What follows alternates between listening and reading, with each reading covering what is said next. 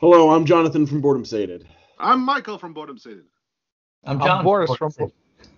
I'm Boris from Boredom Sated. I'm John. Who from- talks over John? Yeah. We have a chorus So- here. so what's what we're talking about today is because the Pathfinder 2 playtest came out recently, and one of the main concepts in it is bringing in the gunslinger. And the gunslinger brings, of course, in the idea of playing with guns. Guns in D&D is a, an interesting concept that a lot of people agree with and a lot of people disagree with. Time frames, power levels, all that kind of fun stuff, rule sets. This is what we have to discuss, and all of us have slightly, at least slightly differing opinions, possibly going all the way to completely differing opinions on this topic, which is the reason why we wanted to do this video. I I think it's a good thing we're uh, doing this over video because this might come to blows. Uh, yeah. Sitting- you start off. You have a very strong opinion of this. I what do do you have think a about guns strong- in fantasy settings? yes, I do not believe guns are appropriate for a sword and sorcery fantasy setting. Obviously, they're appropriate for a pirate or a western, uh, but if you're doing Dungeons and Dragons, you think sword and sorcery. It's like, why are you bringing any type of guns, even black powder, into the equation? Now, I know, yes, they have pirates and stuff like that, but you could keep them to the swords and, and you know, scimitars and other such things. Um, but don't put that in sword and, sword and sorcery. Now, there are different worlds that have this, specifically like the Warcraft world, where they have all types of mechanical things. And in the sword and sorcery, you do have the Iron Golem, which is also, uh, you know, kind of a mechanical thing in a way. Um, and of course, the that level of technology, you should be able to create a gun, even at a revolver level. Um, but is it appropriate? It just doesn't feel like it fits the sword and sorcery. You got magic, you have wands. Why do you need a gun? Um, a magic gun. That's why. Uh-huh. Now, I am I'm a big gun fan, but not in sword and sorcery. So if you told me something else, yeah, put the guns in. But if you do sword and sorcery, it just doesn't belong. You're a purist. I get it. That that's true. It's a, it's a purist type thing for the sword and sorcery world. It just doesn't feel right to be in there. But if you're gonna put it in, I'm gonna play it. oh, what? When you're gonna play, all right. Wait, does that mean we found a way to make it so you're not going to play a wizard? Correct.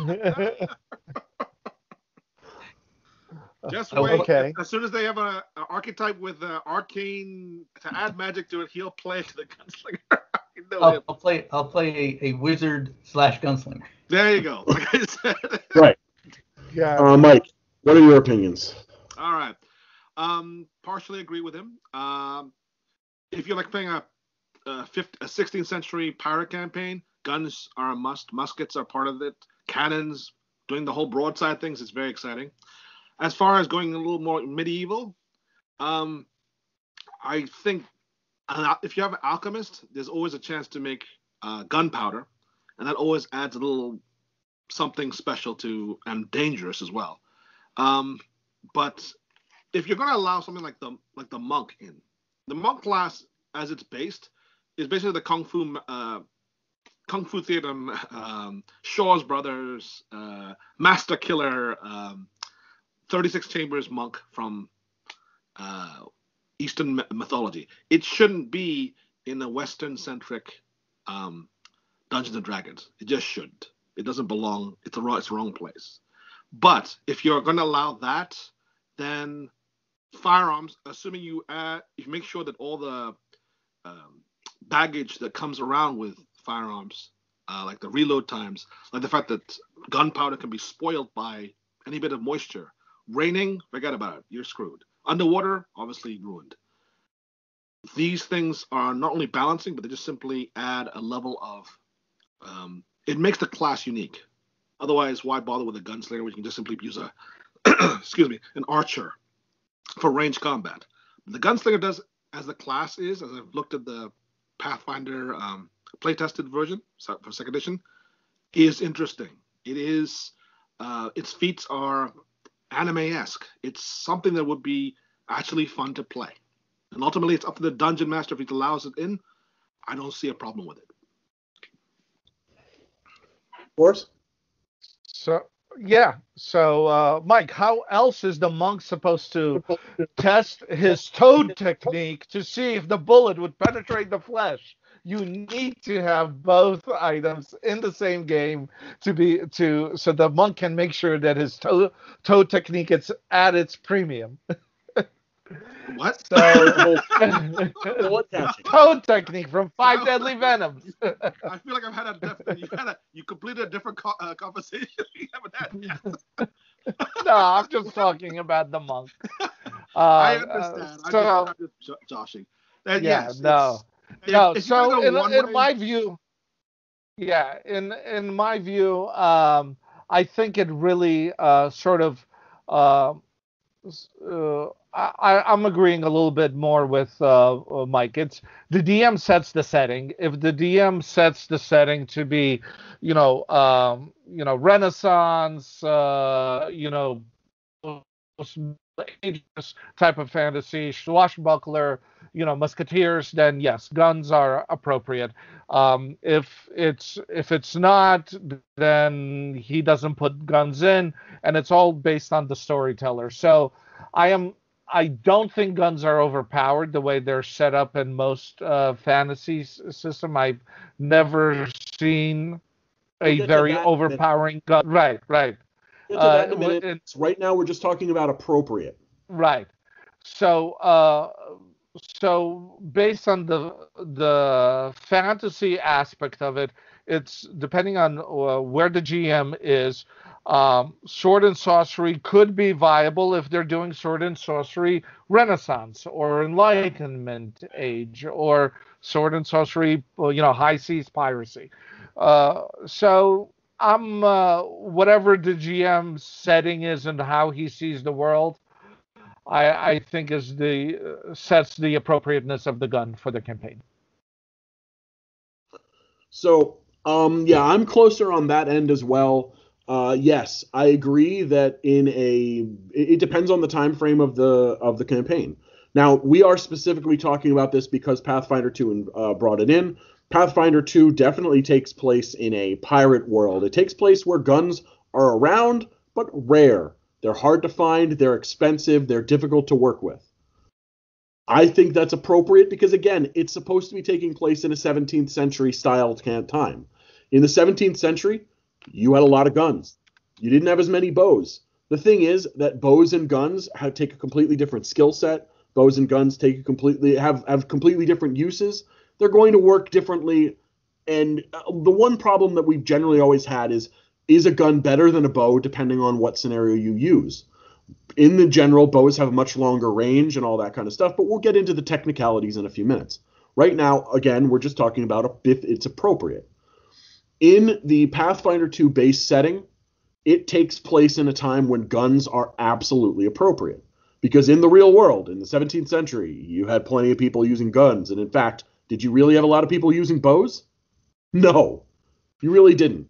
Unless you were going for mass production and things like that. But even then, you still didn't see as many bows as you did crossbows and things like that because again simpler to use but if you're going with a true medieval style game you're going with the robin hood you're going with like what you think of as true sword and sorcery which is arthurian or robin hood or even ancient then obviously you're not going to be using guns because that doesn't make any sense however as soon as you put it in your setting in the 15th, 16th, 17th, 18th century, guns are not only appropriate, but you really need to make sure that you like if you're going to have a pirate campaign and not put in gunpowder, it just feels weird.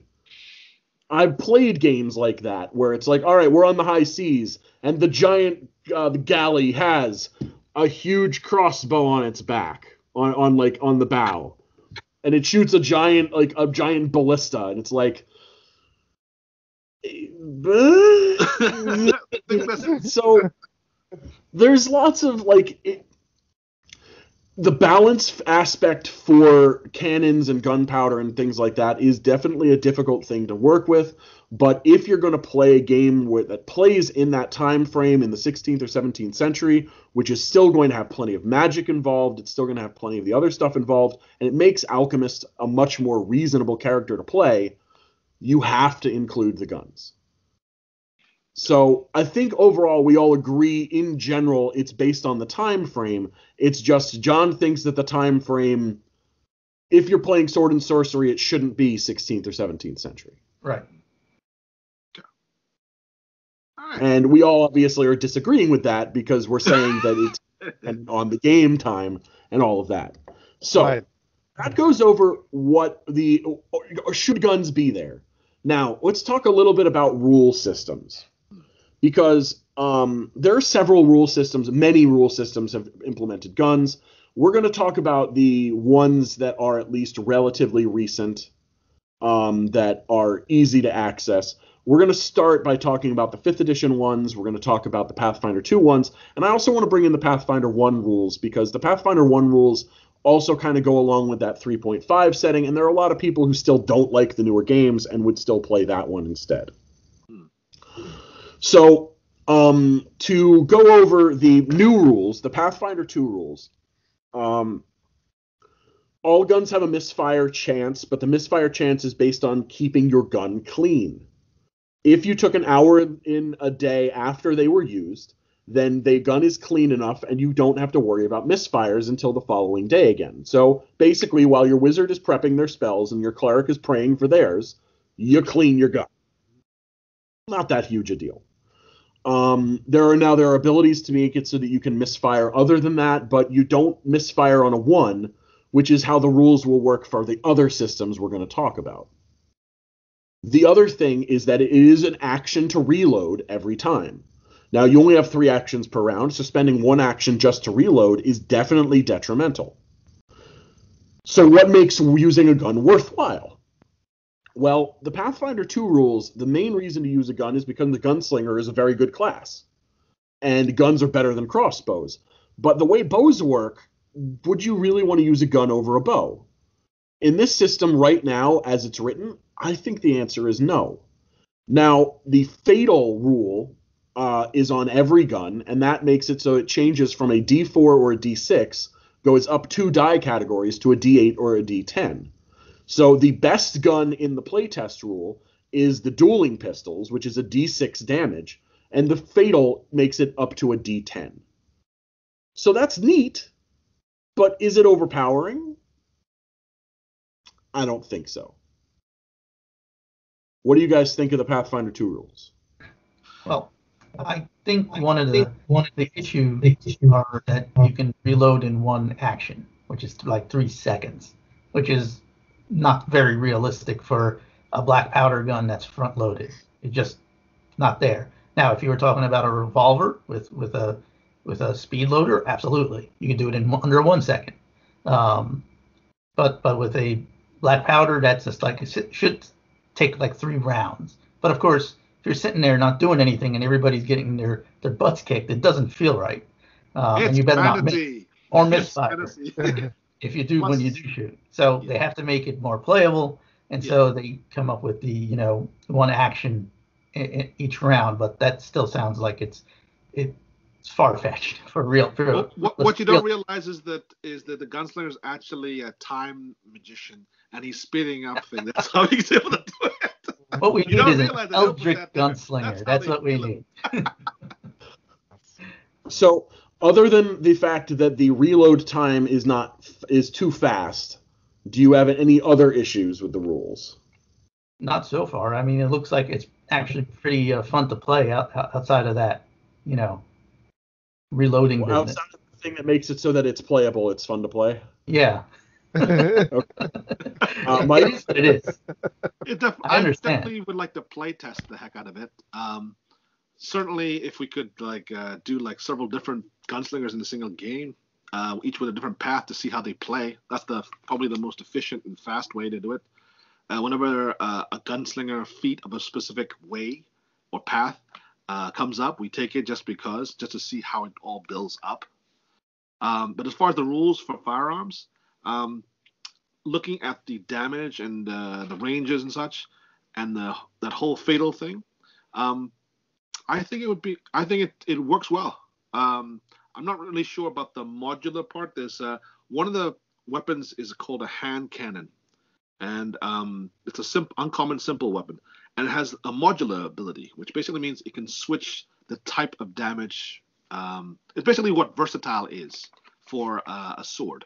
A sword can you either do piercing or slashing damage, and of course that's important because certain creatures have damage reduction against one of those, uh, not the other. In this one, modular allows you to somehow basically transform the gun in some way, and it can shoot bla- uh, piercing or So- slashing or whatever else. way so that that's works- really interesting. How to think of So the it hand is- is cannon, a the reason why it does that is because the hand cannon does explain that it's based on the fact that it can th- shoot anything. So it's based on what you load it with. So if Ah. you load it with, uh, basically, it, it's uh, it's a gun that just shoots whatever you put in it. It- it- it- for So if you want if you want piercing loaded with a lot of your forks and your grandma's silverware, in, in modern terms, will- you want, if you want Blood blunts, pick up a few rocks. Butler. I, I And if you want silverware. slashing, get the razor blades out. in modern terms, it's it's like a shotgun. You can have a 12 gauge buckshot, or you can have a slug. So Yeah, so- Well, they do have remember, that. Yeah. all of the guns here are definitely pre 19th century. right. Oh yes. Um, Boris, your thoughts on the Pathfinder 2 gun rules? I think they're uh, they're uh, they're very in line. They they're very simple. They make it a playable class, and uh, definitely in the top three uh, gun ru- uh, uh, I've seen so uh, in my history with uh, fantasy high sorcery guns. So we're not going to obviously go into all of those sets of rules, but I do want to go into the other current sets of rules for this. So one of the other current sets of rules, obviously, would be the D&D Fifth Edition rules. So the D&D Fifth Edition rules um, have a few sets of guns. Uh, so the way they work is you can take an you have to take an action to reload. However, you only have to reload based on how many you reload what based on how many shots the, the item can take. So, as an example, if a, an item has a reload value of four, the pistol has a reload value of four. You can fire four times before you have to reload. Um, so the damage for generally for these is quite high, uh, because the crit is not something they think about. So a pistol's basic one is D10. So I mean that is the basic pit thing that we would think of. The basic damage is D10. Uh, it uses the standard rules for um, for fifth edition, so you would still add your dexterity to your attack. Um, and the other thing that, of course, all of these have is misfire. On a natural one, or a misfire of the number you roll or lower, a pistol has a misfire of one. Um, the uh, item breaks. Uh, it cannot be used again until you spend an action to try to repair it. To repair it, you have to make a successful Tinkerer's Tools check, which is DC equal to 8 plus the misfire score. If your check fails, the weapon remains blo- broken and must be mended out of combat at a quarter of the cost of the firearm. Creatures who use a firearm without being proficient have a misfire score uh, added by 1. Uh, now, a musket has a misfire of 2, and it, a blunderbuss has a misfire of 2. A hand mortar has a misfire of 3. But the hand mortar also has a 2d8 base damage roll. Um, blunderbuss is 2d8 piercing. It, there's some fun stuff in here for the gun rules. Hmm. They are that's how the expensive as hell, though. work in- They are very expensive comparatively, and the higher level firearms can only be crafted. A pistol is 150 gold pieces, which is, by the way, as, as expensive as most common or most high end common magic items. A musket is 300 gold pieces. A blunderbuss is 300 gold pieces. So, and a pepper box is a is I don't understand why a pepper box is as good as it is here, but you know whatever it is, whatever. So that's the general D and D rules, which is they have a misfire, but it only happens on a one. They don't do especially more or less damage than a bow does. They do about the same. They do have that ability to reload uh, to to fire multiple times before having to reload. They've got reasonable range, but again, why would you use a pistol instead of using a bow? There's no misfire chance on a bow. You don't have to ever spend an action to reload the bow, the, the bow, and the damage is a D8 instead of a D10. So I don't understand why they would put in these pistol rules and not have some sort of additional advantage to using the firearms. What do you guys think? The ammunition Well- also is, is is half of many things. Obviously, the- obviously the, what the ammunition is, uh, or how much it costs. Uh, the pistol's four gold pieces for, I believe, twenty shot, and Yeah. the musket is five gold pieces for twenty shot. Um, So yeah, uh, yeah. The other problem with with all of that is you'll go broke killing your opponent. Yeah, ammo you is gonna be very expensive in all you these. get a dagger, sets. and after every battle, you, you you're gutting the enemy and like hold on, uh, hold on, guys. you spend like 20, 30 minutes covering every single one of your bullets. Like I got this one. it's five silver pieces, five. I I think it would be ch- cheaper to kill the enemy with the dagger and leave the dagger in the enemy than to use those shots. Yeah, it's very expensive to, to for all that ammo, no matter where you're going from. yeah. So is your only problem with the system's gun rules that the ammo is too expensive? No, no, I, I no, I I agree that having that misfire chance and, and then having to fix your gun afterwards if it's really a fumble really takes away from the significant uh, benefit of the damage. I Because think two that D this- eight is better than any of the bow would do. So I think the, uh, mis- you know the misfire get the- number. Sorry. Go ahead. Yeah. No, no. So uh, I I think the da- the extra damage that you do is totally nullified by the chance of breaking and the uh, and the extra cost of all the bullets and all of that that you're pretty much throwing away every time you use it. Hmm. I think the misfire chance is actually. You have to kill dragons to make it worthwhile with all the I think the, mis- I think the misfire is actually kind of low in consider considering um, how absolutely unreliable these things were back in the day. I mean, if you had a like a, uh, for instance, a fog, a fog is a lot of just pure moisture, it's water vapor, one thing else. That would ruin your day. The little bit of that will screw up your powder like nothing.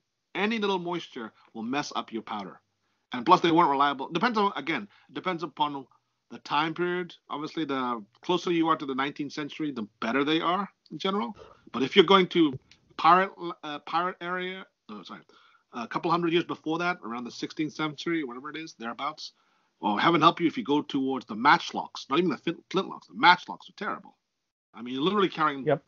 mountains of powder on you while keeping a live wick going. It's it's uh, it can be really rough. Um, but other than that, it's, it's a rather a river. simplified. It's rather simplified, and it's Yeah. it works. I'm sure it works. Um, damage is about. Remember, yeah, uh, they don't. Uh, D&D Fifth Edition doesn't multiply the uh, the damage uh, the same way that the Pathfinder does. Like Pathfinder, generally, when the, when the highest levels with weapons, you're doing four dice of damage, and whereas D&D, other than whatever the damage is, I don't know. if I assume there's magic pistols as well to make it competitive with regular weapons. Um, they might be adding elemental damage to this in addition to the bullet. But um, uh, even though they, they do more damage, uh, it's only one dice. You know, it's like it's it's so it's uh, it seems fe- uh, relatively feasible. A little bit more, a little bit um, more streamlined or simpler, I would say. Um, and of course, there are different uh, weapons here. They don't have the the hand cannon, uh, and they don't seem to have um, uh, the blunderbuss in the other one. It has a scatter effect. That's the shotgun for uh, Pathfinder. Whereas this one just simply, um, it just does more damage. It just seems to do more At a very short range. Yeah. Because the blunderbuss rule for uh, Pathfinder 2 is very nice because it also does splash damage to whoever's in the range. So it's pr- 15 feet, but heck, you're doing damage plus the splash damage. It's like, okay, not bad. John? So So, so uh, yeah, and um, D&D, it seems like they just, you know, kind of put some of the rules in there. They even give you uh, advanced weapons like alien weapons in the in the in the Game Master's Guide. So I was like, okay, they wanted to be able to, so you can put it into any setting of any kind, even modern, and be able to uh, to play the D and D rules. Uh, but there's really D and D doesn't have that much advantage using firearms versus the bow or a crossbow. And that's probably what you should default to in, in D&D unless they come out with uh, newer rules for the regular uh, for the regular like Forgotten Realms world. In general, in Forgotten Realms, I don't remember reading in any Forgotten Realms people having guns. So I've read Uh, that uh, like there's some specific like right, city- yeah, there are a couple of specific people and specific cities that have guns, but they are very rare and they are very very powerful. Um, which these rules do not follow because there's nothing. Again, I'm I don't want to upgrade a D8 to a D10 just so that I can have a chance to misfire and have a shorter range and have to reload every once in a while. It, it just seems like you're doing this much more damage for a couple of possible things that actually just legitimately hurt you for no particular reason. The bow's main advantage is speed, as well Yeah. as uh, Yeah. range, the But general I- range. I would bet You can the, fire every round, every every single attack. I would bet the Yeah. official throughput probably is less than than bows and arrows.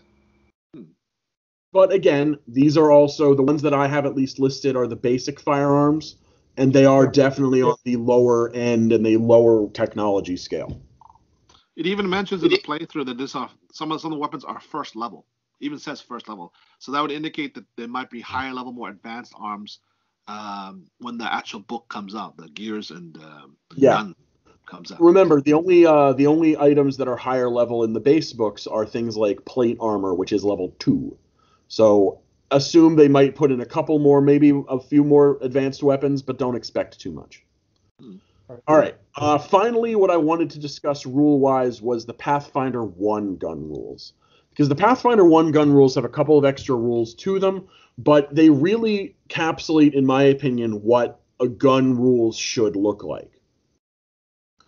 So, the gun rules for Pathfinder 1, uh, first of all, you have to realize that they still have something called a touch armor class. A touch armor class does not involve any of your armor bonus. It just basically involves your dexterity modifiers and anything else that you can have to your bonus that don't involve just having a thick hide. So your touch AC is generally much lower than your regular AC. Um, so the uh, firearms in Pathfinder 1 are separated into early firearms and advanced firearms. The early firearms are the things we've generally been talking about uh, pepper box, buckler gun, pistols, blunderbuss, things like that. Now, the rules for those are if you hit someone in your first range increment, then you do you go against touch AC, which means that the damage on these is not especially high, but you don't have to have the skill to hit because you can hit almost anybody because they can't guard against a bullet armor doesn't affect it as well as it does against arrows and things like that. The other thing is that, uh, like with what Pathfinder 2 tried to do, was would make the crits more powerful. All guns on the firearms table, especially the uh, all guns have either a times three or times four critical value.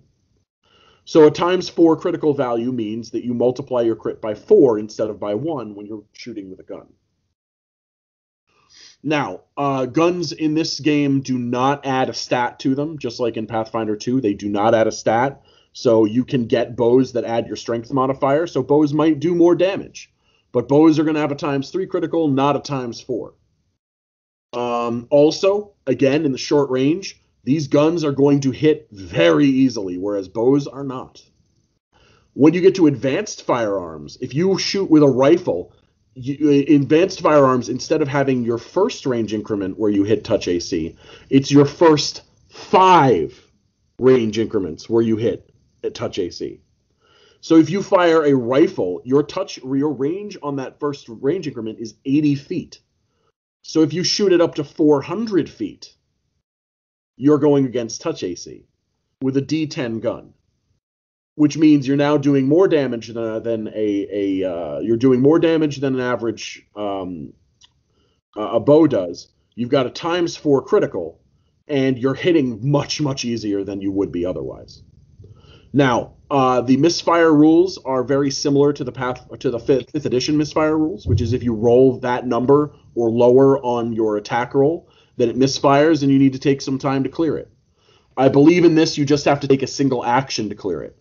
Um, now, if you have a one or two uh, handed weapon, your reload time is still going to be kind of uh, uh, inaccurate. It's very short.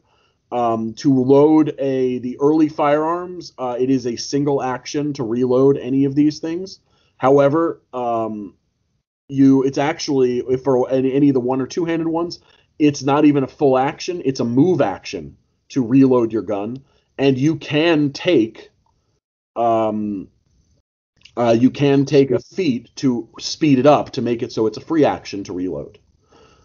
Uh, advanced weapons, same thing. Now, if you're using a two handed weapon, it's a little bit slower, but overall, you can still pretty easily reload, and it makes it so that guns are very viable, and especially advanced guns are definitely more powerful than bows and crossbows. Uh, however, they are extremely expensive. Ammo is still extremely expensive and uh, you also still have to worry about the fact that um, uh, you still have to worry about the fact that it's hard to get this stuff. Black powder, uh, if you're using a black powder gun, cannot be used underwater. If it's exposed to water, it's screwed. You know, all of that kind of fun stuff is still there. Um, now, personally, obviously, I believe that the firearms rules from Pathfinder 1 are actually very good uh, because the the obvious only problem with them comes from the fact that uh, reloading again is very fast, but it's a fantasy game. You're supposed to be very very good. So, oh, uh. Yeah, based up, yeah. based upon that, I I would definitely agree with you that uh, um, uh, uh, the order out of those three games. I mean, I know other games where I think firearm rules are in line, but the order is definitely Pathfinder 1, Pathfinder 2, and then the fifth edition for the best rules uh, for firearms. I agree. The I like the fact that um, that there is a touch AC, which actually brings a, a really a touch of realism. When a, when a bullet is not uh, most armors uh, of the day were not super effective against um, a bullet. Um, and um, I mean, obviously the costs of these things are prohibitive, but that's I think more to factor in how rare they are and how exotic the materials are and how specialized the tools of that time period have to be. Um, and um, I like the the times four critical because if if something uh, comparative to, say, for instance, um, a melee weapon. Um, if um, if uh, you get uh, a grazing wound with a with a with a pistol, okay, it's just a flesh wound or it's just a graze. It doesn't do, it doesn't do more than a scratch or a little bit of blood in comparison to a grazing wound with, say, for instance, an axe, which could sometimes be uh, just really dirty and you might die from tetanus or an infection uh, the time period and obviously armor is more effective against an axe than it is um, a gun. It just simply is. Um, you can certainly cause broken bones, or whatever it is, if you hit the right spot, but um, armor was just simply more uh, effective against the weapons that they were designed to deflect against. That's why eventually armor was phased out because they were pointless. Um, by the what 15th, 16th century or so, when guns became more prevalent, because it wasn't doing anything. Certainly, there were exceptions to that. People would wear still wear breastplate better than nothing. But you know, um, as far as the rules go, I like the fact that, like I said, it has a touch AC. That's where it should be. That's the it, it should it requires a much less skill to use a firearm um, than a bow. It just does yep. because it takes literally years to develop the muscles, the strength to be a good archer. Whereas somebody who uses a, a gun can be trained in a lot less time. And that these the the Pathfinder one uh, reflects that I think the most. What about you, John? So, oh, quickly, uh, just because I, I did want to mention this. Um, So early firearms, it is a standard action to load each barrel of a early firearm, a full round action to load each barrel of a two-handed early firearm, uh, three full round actions for a person to load a siege engine. Uh, you can reduce this with um, with rapid reload.